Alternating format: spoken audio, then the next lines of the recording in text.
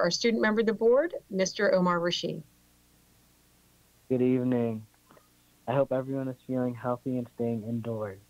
I first want to thank all our teachers in BCPS for all they do for us and wish them a happy Teacher Appreciation Week.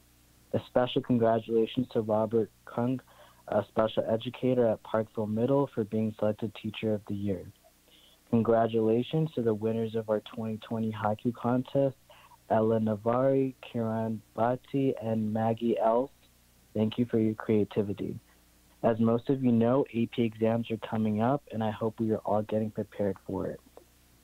For most students, we're still adjusting to the online learning and doing our best, but please remember to take care of your mental health first. Do as much as you can and don't stress out. Remember to eat, stay active, and get a good night's sleep. For our seniors, I know this is extremely difficult and you want nothing more than to get our senior year back and your senior activities. I know that graduation means a lot to us, and walking across that stage is a big deal for a lot of us, especially our first gen students and their families. Hopefully, we can find alternatives to push back our graduation to a safe date and have a special event for our seniors. Hang in there, and we know and recognize all the hard work you've been putting in. Congratulations on those of you who committed to colleges and those of you who will be making career choices. A huge shout out to all our medical professionals, grocery store workers, and all essential workers risking their lives for all of us.